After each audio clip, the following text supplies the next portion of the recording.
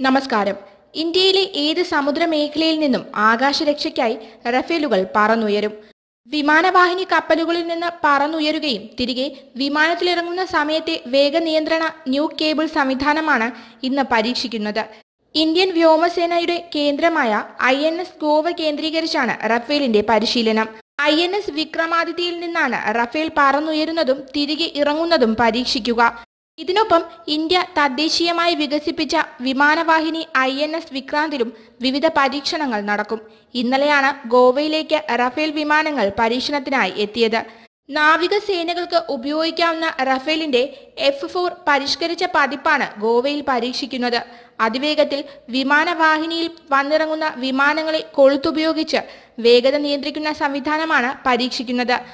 അമേരിക്കയുടെ F eighteen വിമാനങ്ങളാണ് പൊതുവെ വിമാനവാഹിനികളിൽ അനുബന്ധമായി സജ്ജീകരിക്കാറ്.